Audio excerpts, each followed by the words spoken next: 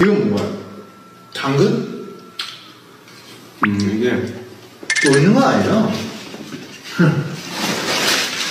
당근을 왜 이렇게 많이 들고 다니는 겁니까, 중국 씨?